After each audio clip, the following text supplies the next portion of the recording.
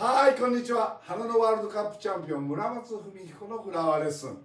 え今日今回もリクエストいただきましてあの一般の方だと思うんですよね。あのこういうような瓶がたくさんあるもんでこあ小さい小瓶ですよね。こういう小瓶があってこれを使ったアレンジメントを教えてほしいということだったんです。ですから、えー、まああのこれは薬瓶薬っていうかドリンク剤の瓶ですよね。でこれにこのような形であの水を入れます。まあ、こっちもちょっと入れましょう。こういうにしてね。で、こういうふうに水を入れました。で、これもこうやって並べていただいても面白いですし、こういうふうに並べていただいても面白いし、こうやってちょっとこう、こういうジグザグのやつでもいいです。こういうふうにして。ジグザグでもね。まあ、もちろんまん丸くしてもいいです。これこういうふうにして、ここにこうやってやるとちょうど、えー、な今7個ありますので、7個をこういうような形で規則正しくやってもいいです。いろんな使い方があると思うんです。面白いんですね。ですからこれに対してどういう形で生けていったら面白いか。で玄関なんかの大きな広い場所。そういうのにはこうやってちょっと空間を広げてこういうふうにわとランダムに置いても綺麗かもしれないですね。こういうふうにしてね。それでこれに対して花を生けていきます。でやはり全て見てください。これドーンって入れちゃったらどうですか？それもいいかもしれないけどね。こういうふうにして。水切りをしながらこういうふうにして、えー、生けていくこういうふうにして。でもしくはこういうようなあのゲイラックスの葉っぱ。もしくはヒューケラの葉っぱ、まあ、今回はあれですけどあのヒューケラなんかもねあの、えー、限られると思いますけど一般の家庭に花壇なんかにあったりしますのでヒューケラの。今回は使いませんけどヒューケラ。それからあとゲーラックスこういうのもゲーラックスもこういうにしてちょっとこう向きを変えていただくと面白いと思いますねこういうふうにしてでこういうので不等辺三角形いつも僕言うんですけど正三角形より不等辺三角形にすると面白いと思います。まあこれは花瓶があの瓶が小さいですのでね、その瓶を合わせてこれもそうです。こう来たらここにこう入りますね。ねそれでこれ不等辺三角形。ちょっとこういうふうにしてここにこう花入れます。こういうふうにして。ねこういうふうにしてか、ね、不等辺です。全てが不等辺不等辺に入ってきます。ね。それからあとセルリア。これもいいですね。こういうふうにしてセルリアもこういうふうにして。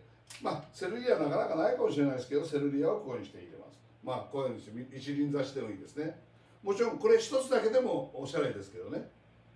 こういうふうにして入れます。から夕霧草これも可愛いですね。夕霧草をこういうにしてポンとこうやって入れる。ねこういうにして。まあそんなたくさんは入れる必要ないですけどこういうにして、ね、夕霧草グリーンですね。はいこんな感じで。それからあとグロリオサのこれはイエロー。黄色ですね。黄色をちょっとこうやってみましょう。ねこういうにして。でこういうにして2つぐらい。それから今度はこういうねオレンジ。これもねあ落ちゃった。さあこんな感じでちょっとこれ。あの黄色は3本やりましたけどあ2本やりましたけどオレンジは、えー、これ全っていうやつですね。3本入れましょうこうにして。でこれもやはり見てください。どちらかというとこういう三角形。ね。三角形にすると綺麗ですね。こういう感じです。さあこれ見た時にどうですか？これあもうこれ終わりましょう。はい。これ見た時どうですか？なんかつながりがあって単品の花がこう並んでるだけに見えるでしょ？これを今度はこういうようなアイビーとかこれは利休草ですね。利休草をこういうにして綺麗ですね。利休草なんかもこういうにしてちょっとやると。これをつなげるんですこういうにして。利休草ね。利休草もほらもっと優しいやつはあるけどこういうふうにして、ね、やっていた。これもどちらかというとこういうような形でこう、ね、ちょっとあのセルリアをもうちょい入れましょうか。ね。こういうふうにしてここにこう入ると。でこういう花も比較的サポーティングになりますのであつまりあの花を入れることにおいてこうねえー、剣山代わりにもなりますから花が固定できますね。でこういうにして葉を取る。でこういうふうにしてもしかしたらためを聞かせてください。こういうふうにしてためを聞かす。ねこういうふうにして。ためも聞かすの面白いですよこう。ほらねちょっとためをして普通試しかなけあのためをしなければこういうような感じになりますけどためをするということね。さあそれから密観察ねこういうのもありますね。これもこういうふうにしてねそれからこうやって手をやって、えー、祈るような形。